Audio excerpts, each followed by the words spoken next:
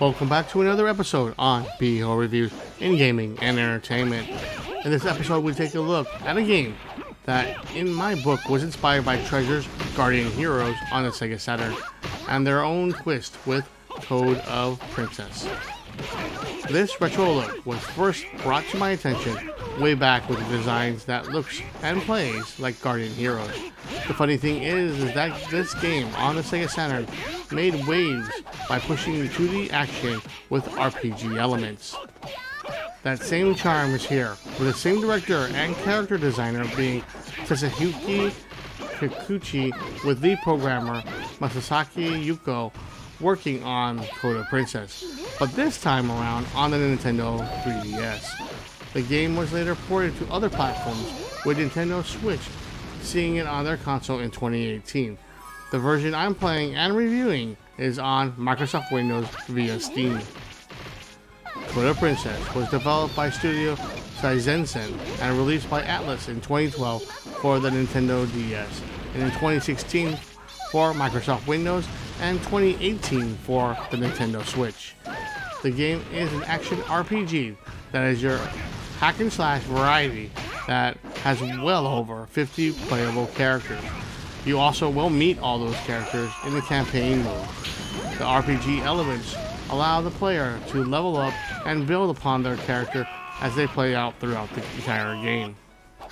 The story is in a world where humans and monsters battle one another constantly, as the Princess Solange is kicked out of her kingdom after being attacked by monsters so long journeys to find out why the monster is attacked and eventually meets other companions along the way. The main four characters on the main campaign and missions consist of Solange, Ali, Zozo, and Allegro. Each have special techniques that will help the overall quest.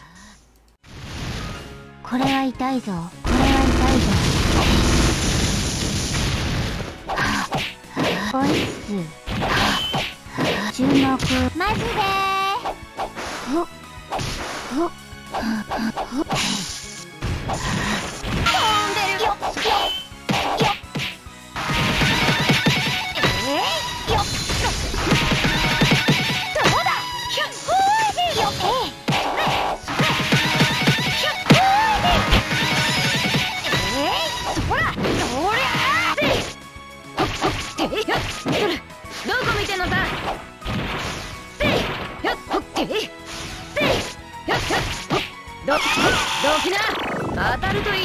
きなどきなえいほっえい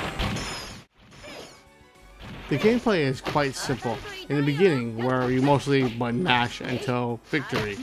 As you play more and more, the levels and missions begin to challenge you more, where dodging, blocking, and combo attacks are necessary in moving along. There are three different planes where you can jump on to avoid or attack enemies. The game does get chaotic at times, where retreat to higher or lower ground helps immensely.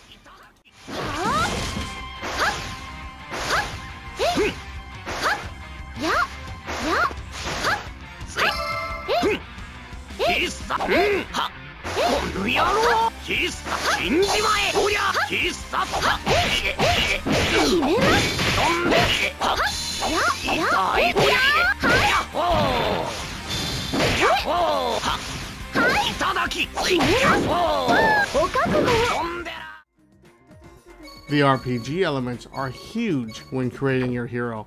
I myself love a fast overall player with combos, and I love playing Solange or Ali, as they are very quick fighting characters. Solange was actually kind of slow in the beginning, but I was able to put most of her characteristics in speed.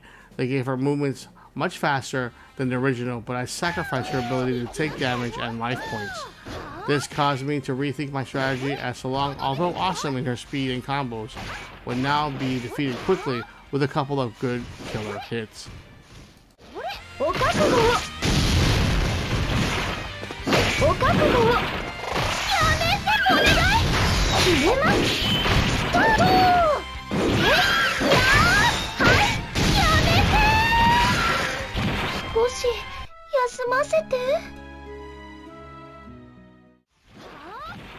The visuals here are nice for a port of the 3DS. The game offers the player to play the game as if it was in its original format or full screen with dual images. The original pixelated versions from the 3DS was left with newly rendered backgrounds. It just doesn't look right.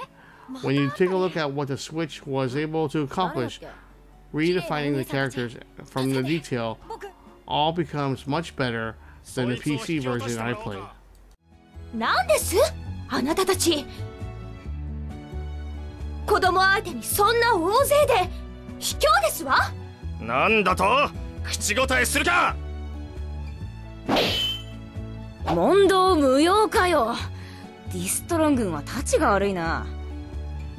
まったくです。騎士の風上にも置けませんわ。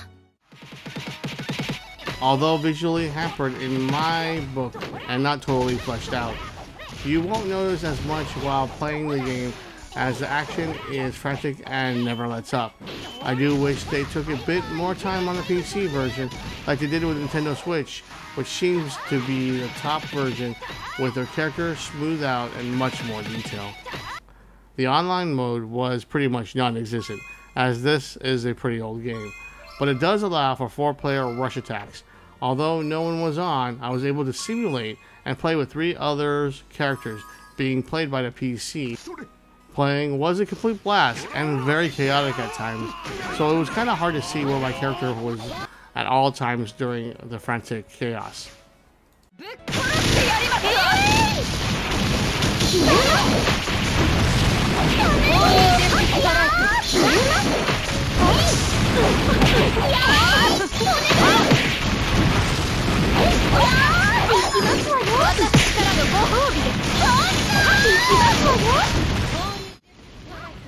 Overall. The game felt great with speedier version of characters, but when the repetition came in, there were times where I just wanted to give the game a break based on their constant battles that were seemingly non-stop.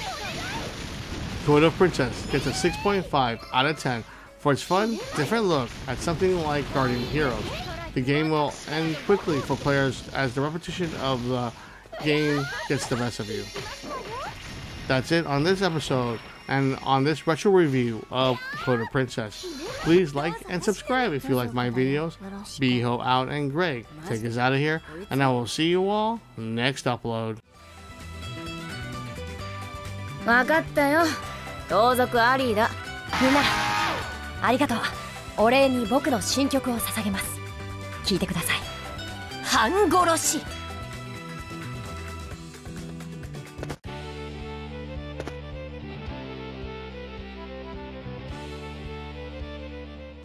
Damn.